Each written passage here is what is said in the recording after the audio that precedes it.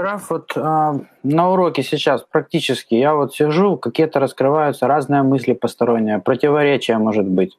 Я уверен, у товарищей то же самое. Но когда мы поднимаемся над ними и связываемся вместе, да, мы пытаемся построить единство. Но это же еще не называется средняя линия.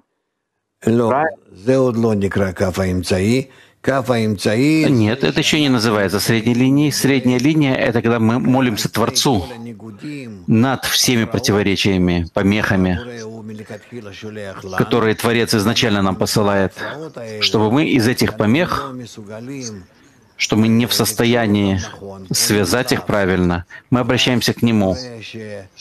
И тогда происходит то, что называется, что делающий мир в высотах установит мир между нами. То есть особый высший свет строит в нас экран над авиютом, и тогда мы можем работать со всеми этими противоположными вещами, противоречивыми, и из этого выстроить парцув.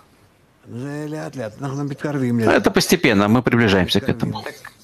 Приближаемся. Так средняя линия это уже результат вот этой молитвы. Э, либо это еще сам, это, э, либо это молитва сама по себе.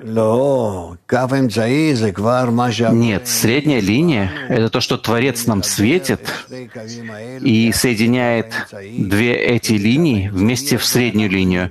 И в этой средней линии мы раскрываем Творца. Это уже связь между нами и Творцом.